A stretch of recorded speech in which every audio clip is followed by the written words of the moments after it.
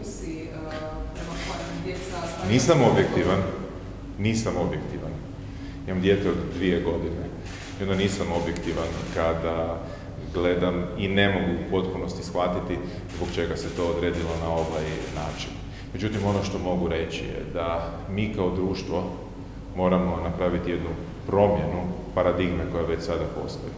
Mi vrtiće tretiramo kao čuvališta, a vrtići su mjesto predškolskog odgoja i obrazovanja. Vrtići su prije svega tu zbog djeteta, da ono nešto od tih vrtića dobije. I zato kao društvo moramo donijeti jednu dugoročnu političku odluku da li prihvaćamo model kojeg imamo sada, gdje ih tretiramo kao čuvališta, ili od vrtića želimo nešto više.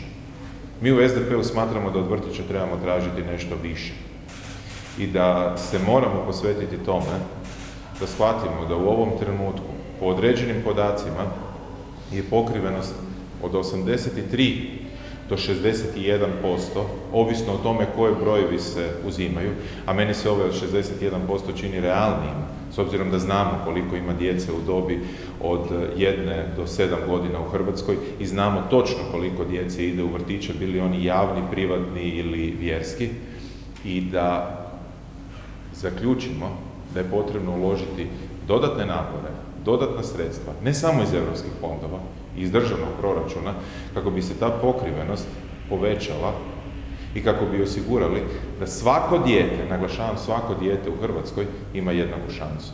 To, nažalost, nećemo moći napraviti preko noći, ali od negdje moramo krenuti. A čini mi se da u ovom trenutku mi kao društvo u tom smjeru nismo krenuli u dovoljnoj mjeri.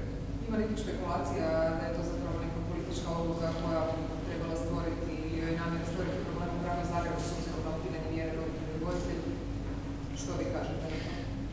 Kažem da mi nije potpuno jasno, već sam to rekao, da mi nije potpuno jasno zašto je odabran taj kriterij sa četiri godine i volio bih da to i kao političaru, ali i kao roditelju mi bude objašnjeno.